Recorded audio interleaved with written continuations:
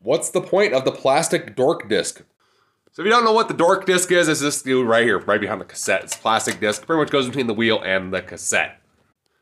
And pretty much the thinking behind this is if your derailleur is prop- improperly adjusted or it gets bent out of adjustment or something, and you overshift past your largest cassette ring here, and in between, between the spokes and the cassette, your chain's gonna jam there, possibly cause damage to the spokes, possibly damage to the cassette body, whatever that may be, it could cause damage there. So that's to prevent that damage from happening.